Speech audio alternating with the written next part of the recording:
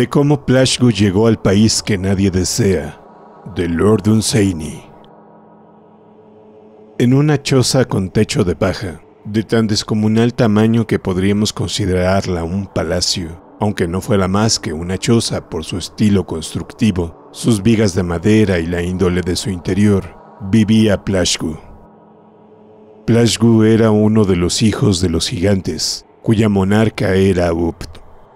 El linaje de Up había menguado en corpulencia durante los últimos 500 años, de manera que ahora los gigantes no sobrepasaban los 15 pies de altura.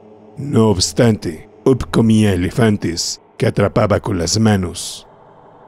En la cumbre de las montañas que rodeaban la casa de Plashgu, pues Plashgu vivía en el llano, habitaba un enano llamado Riptikang. El enano solía caminar al atardecer por las crestas más altas de las montañas, subiéndolas y bajándolas, y era achaparrado, feo y peludo, y Plashgu lo vio claramente. Durante varias semanas, el gigante había soportado verlo hasta que finalmente le molestó su presencia, como suele ocurrir a los hombres con las cosas insignificantes, y ya no pudo dormir por las noches y perdió el gusto por los cerdos. Y por fin llegó el día, como cualquiera podía haber adivinado, en que Plashgus echó al hombro su garrote y subió a buscar al enano. El enano, aunque un poco chaparro, era más ancho de lo que pueda uno imaginarse, por encima de la media humana y más fuerte de lo que los hombres podrían reconocer. La fuerza en su verdadera esencia habitaba aquel cuerpo pequeño, como una chispa en el centro de un pedernal.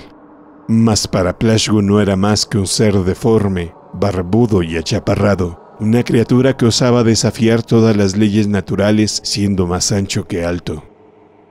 Cuando Plashgu llegó a la montaña, blandió su chimahawk, así llamaba a su garrote favorito, no fuera que el enano lo desafiara, y con las manos aferradas a su garrote dio un paso hacia Ripitikang, el cual se detuvo sin decir nada y volvió su repelente mole para hacer frente a Plashgu.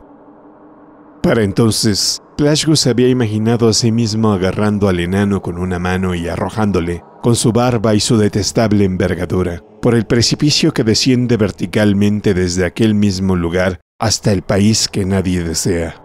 Sin embargo, el destino le tenía reservado algo diferente pues el enano rechazó con sus cortos brazos el apresamiento de aquellas manos monstruosas, y zafándose gradualmente de sus enormes miembros con astucia de enano, logró atrapar finalmente el cuerpo del gigante, y poniéndole boca arriba hasta tenerle convenientemente sujeto, como hacen las arañas con algunas moscas grandes, de repente levantó al gigante por encima de su cabeza. Al borde de aquel precipicio, cuyo fondo se perdía por completo la distancia, dio vueltas alrededor de su cabeza su gigantesca víctima, primero lentamente y luego cada vez más rápido. Y finalmente, cuando Plashgu flotaba en torno a la odiosa mole del enano y la no menos odiosa barba de aquel ondeaba al viento, Ripitikan lo soltó. Plashgu se precipitó por el borde en dirección al espacio, como una piedra. Luego comenzó a caer.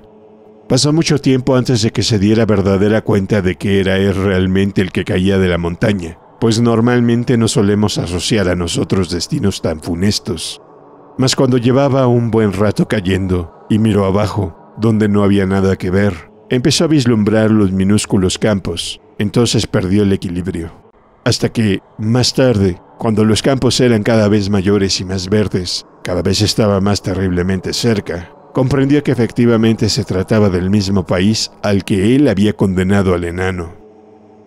Por fin lo vio inequívocamente, cercano, con sus siniestras casas y sus espantosos caminos y sus verdes campos reluciendo a la luz vespertina. Jirones de su capa ondeaban al viento.